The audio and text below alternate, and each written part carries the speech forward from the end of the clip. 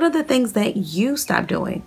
I don't know. I don't know. Hey, beauties and curls, it is another Maintenance Monday. Got a question for you guys. Have you stopped doing some things to your hair that you shouldn't have? Well, in today's video, I'm going to share with you the top three things that I stopped doing in order for my hair to grow and grow at an immense rate. And we're going to start doing those things again, but we have to address it coming up.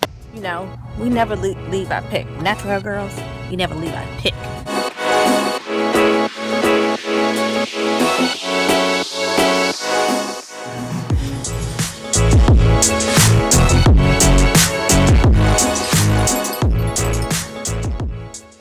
So before we get started, I would love for you guys to be a part of the family over here. If you are into hair videos, into beauty reviews, then this is the place that you want to be. I am doing a hair growth challenge, length retention. I like to call length retention because really in order for your hair to grow, you have to retain length. So it's the same thing, but retain length means that I have to be intentional on retaining the length. Not only my hair growing because your hair grows at a constant rate.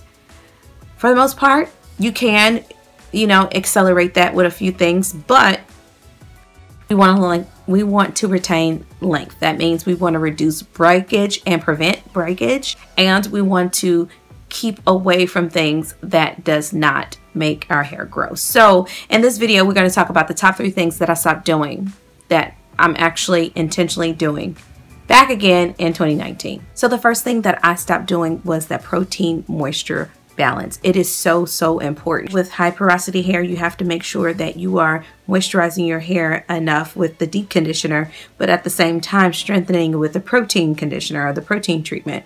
And I was not keeping up with that. Last year, I just fell off the mark. I was used to be really, really good with that, but I'm going to have to put it back on my calendar I was doing a protein treatment followed with a deep conditioning treatment every other month, but I was deep, deep conditioning my hair every week and that worked really well. So I'm going to get back on that schedule. The second thing that I stopped doing was protective styling. I was doing a lot more protective styling, but I really got lazy and was doing wash and goes, which Wash and goes don't work for my hair. I talked about that. I do have a video talking about why my hair does not like wash and goes and how to repair your hair. And so I just fell off the mark and just got lazy and was doing wash and goes.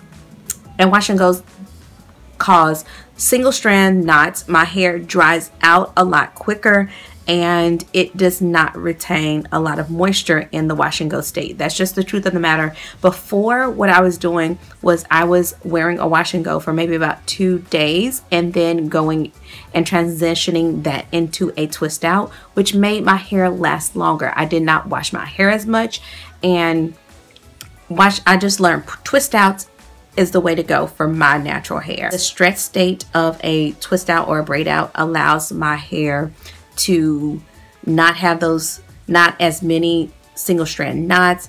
It wouldn't like tangle within itself. And so the strand was very smooth and it helped separate the curl. I hope that makes sense. But I got to get back to that. And the third thing is that I was not moisturizing and sealing as much. I used to moisturize and seal every night. I would retwist my hair and I know it was a little bit more tedious, but at least I can do that every other night. Those are the top three things that I stopped doing that I have to get back to. So I hope sharing this with you guys helps somebody out and I hope you get back to your routine of what really made your hair grow and thrive. Comment down below and let me know what you stopped doing that you should start doing again. And this is a great time to do it.